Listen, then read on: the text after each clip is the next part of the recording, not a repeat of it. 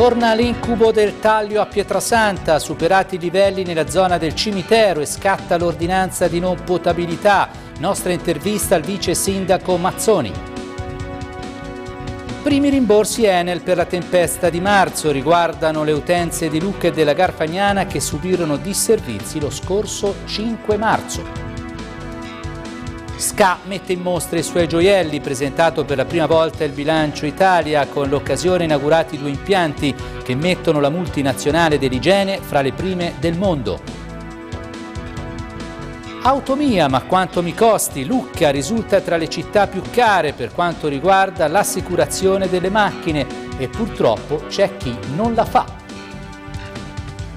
Ecco Cecco Baldini, bentornato a casa, presentato il nuovo allenatore della Lucchese, cresciuto nel settore giovanile rossonero, il 41enne tecnico di Massa, torna nella società che lo aveva lanciato come calciatore. Il presidente Bacci fa gli onori di casa.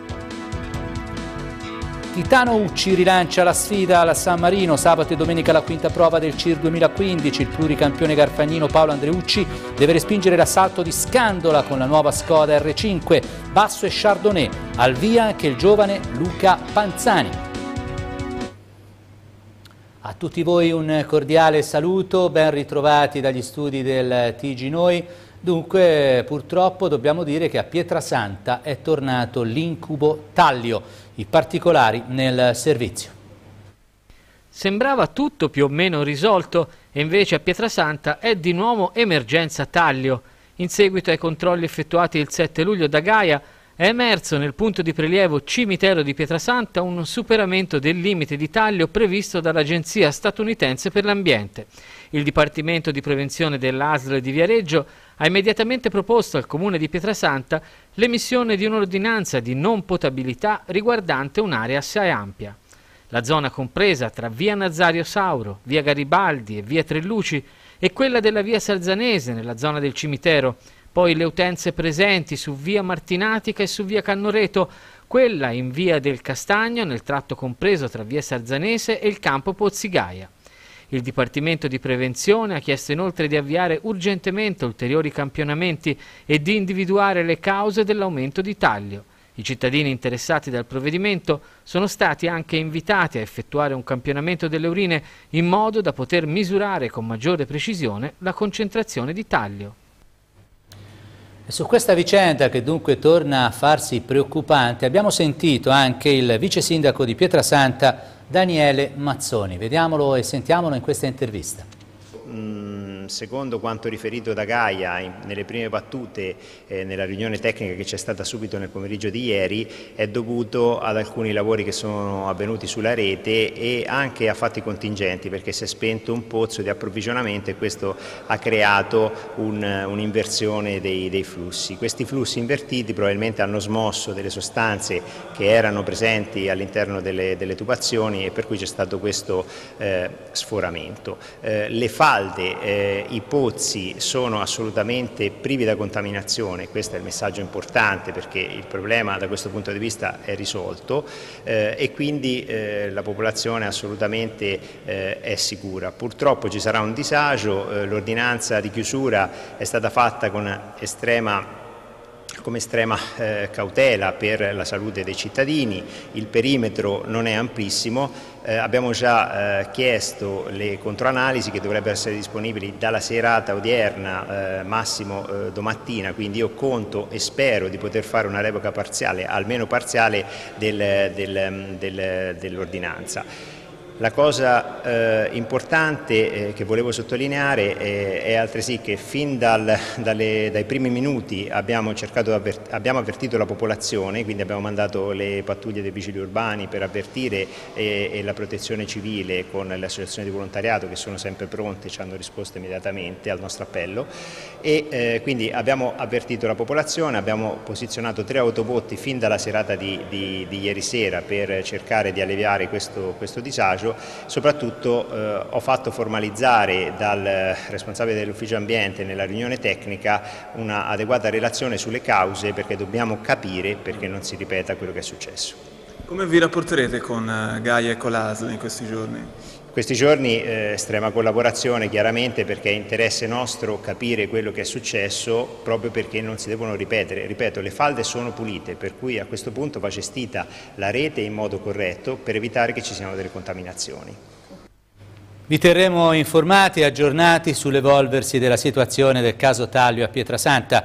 Intanto cambiamo argomento, sono in arrivo gli indennizi, per i, gli indennizi per i residenti del territorio di Lucca e della Garfagnana che lo scorso 5 marzo a causa della forte tempesta di vento hanno avuto disalimentazioni elettriche di lunga durata. Lo ha comunicato Enel, i rimborsi variano da 30 a 300 euro per utenze domestiche, da 150 a 1000 euro per le piccole utenze non domestiche, mentre per le utenze industriali dipendono anche dalla potenza contrattuale possono arrivare fino a 6.000 euro. Beneficeranno del rimborso tutti gli utenti che hanno avuto un un'interruzione di energia elettrica di almeno 8 ore nei comuni con più di 50.000 abitanti, di 12 ore nei comuni tra i 50.000 e i 5.000 abitanti e più di 16 ore nei comuni più piccoli, ovvero quelli al di sotto dei 5.000 abitanti.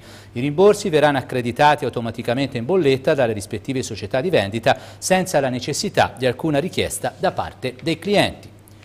Un paio di notizie in breve di cronaca, il commissariato di pubblica sicurezza di Forte dei Marmi e la polizia municipale eh, di Forte dei Marmi appunto hanno svolto in sinergia un servizio di prevenzione volto a contrastare il commercio abusivo di merce contraffatta eh, che viene posto in essere soprattutto da cittadini extracomunitari nel centro e sulle spiagge della nota località turistica Forte Marmina.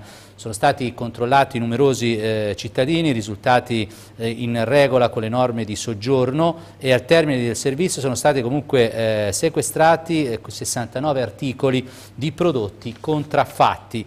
Ed ancora i carabinieri della stazione di Pietrasanta hanno arrestato in flagranza di reato Yarmouni Rashid, di 22 anni, nato in Marocco, senza fissa dimora, pregiudicato, senza permesso di soggiorno. L'uomo è ritenuto responsabile del reato di detenzione a fini di spaccio di sostanze stupefacenti. Lasciamo la cronaca e andiamo ad Altopascio dove Sky Italia ha presentato il bilancio eh, sociale. Vediamo.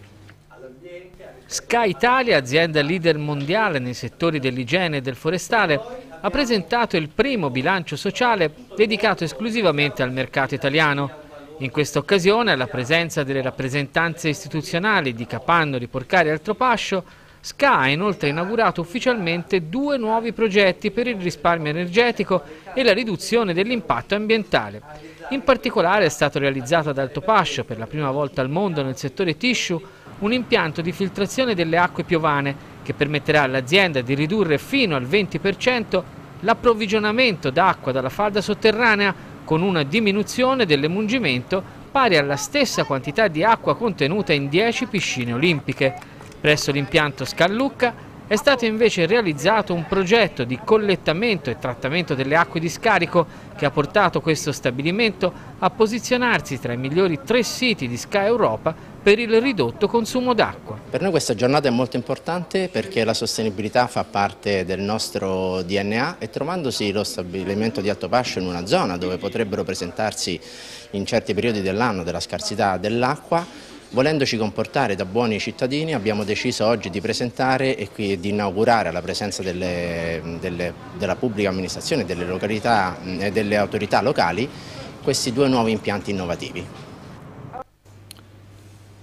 Mirko Pagliai, il 41enne pratese che era precipitato da un balcone di un appartamento a Lido di Camaiore preso in affitto assieme ad alcuni amici, è deceduto dopo un'agonia, pensate, di ben 40 giorni all'ospedale di Livorno, dove era stato trasferito dopo che in un primo momento era stato portato all'ospedale eh, Versilia.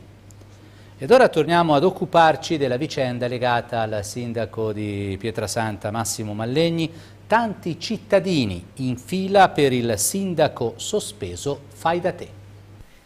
Una signora è dalle 7.30 che sta aspettando il sindaco sospeso per un problema, un'altra invece voleva semplicemente conoscerlo. Saranno una cinquantina alla fine della giornata i cittadini del comune di Pietrasanta ricevuti da Massimo Mallegni nella sede del comitato elettorale in via Oberdan, quartier generale della trionfale campagna elettorale.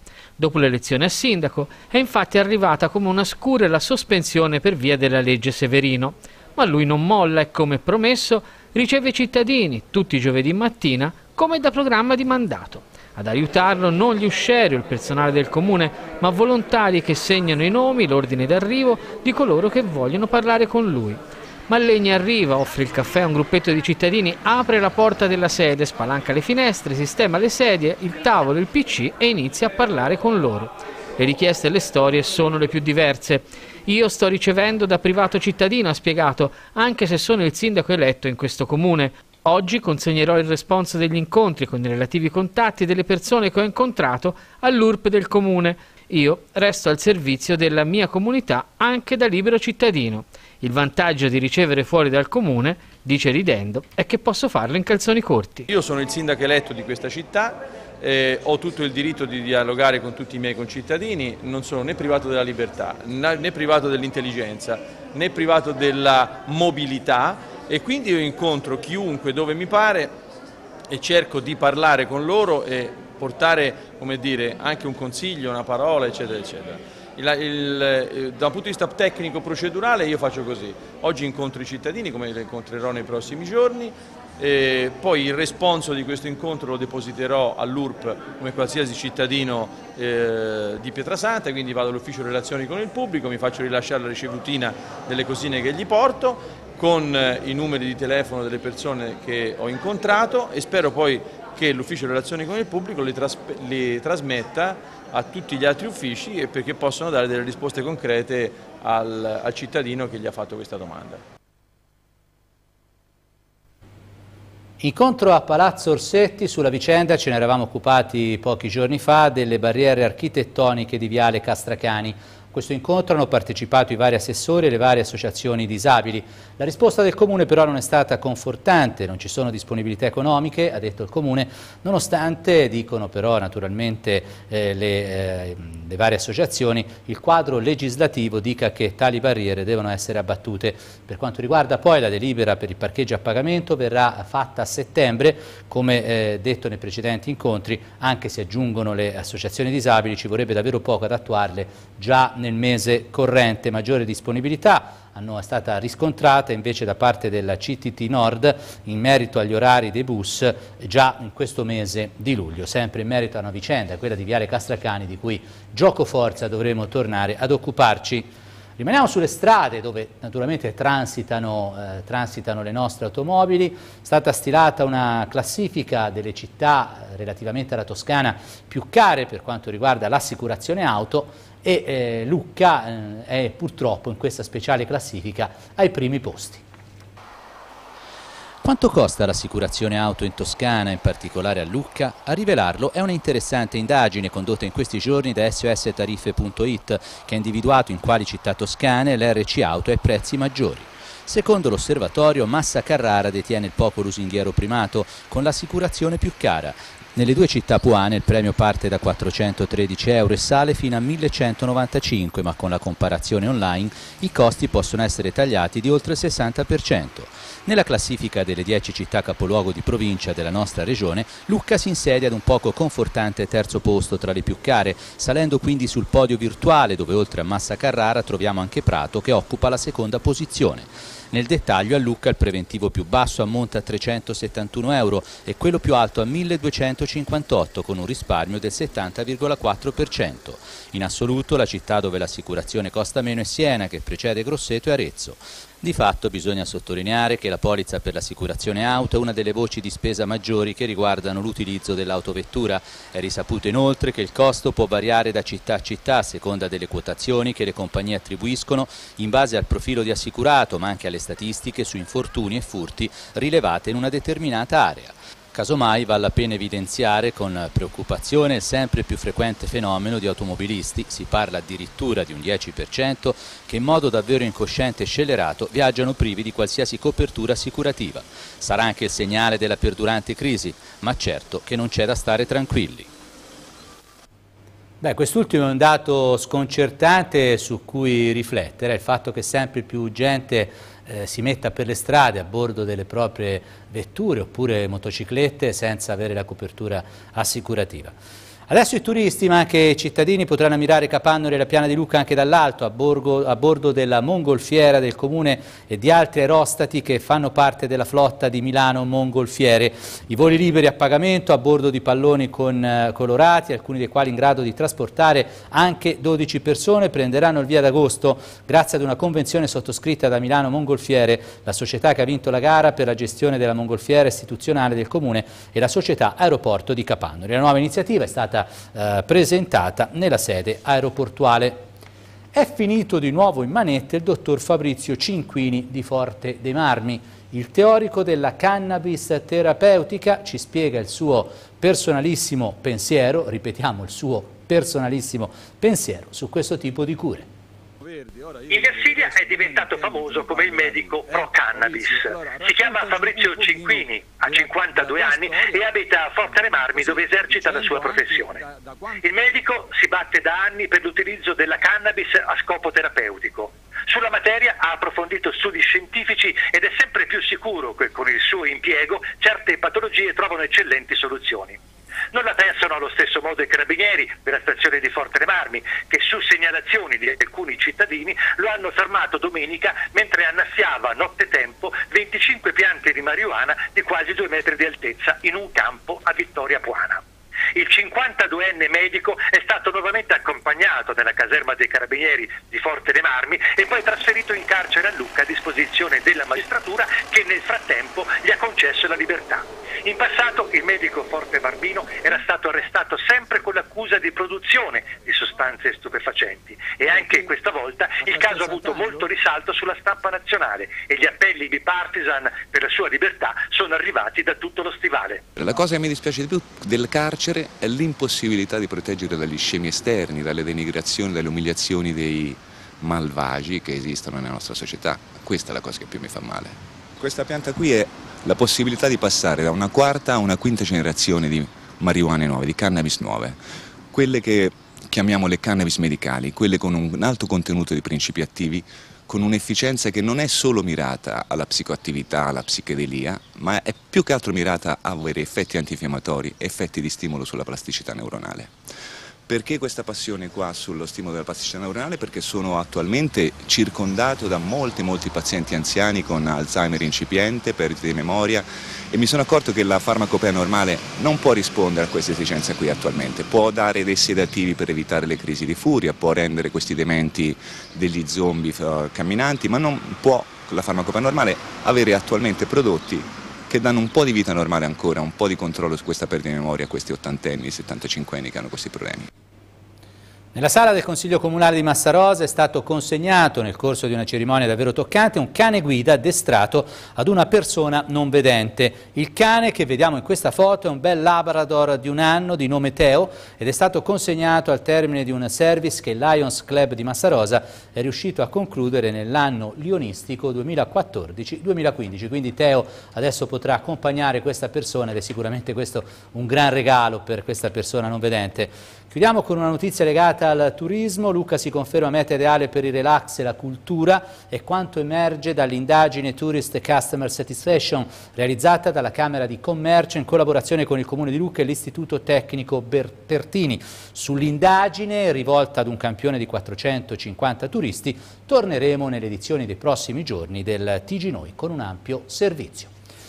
Bene, ed è tutto per quanto riguarda la prima parte del TG. Adesso ci fermiamo, una breve pausa pubblicitaria, ma torniamo subito dopo in primo piano la presentazione del nuovo allenatore della Lucchese, Francesco Baldini.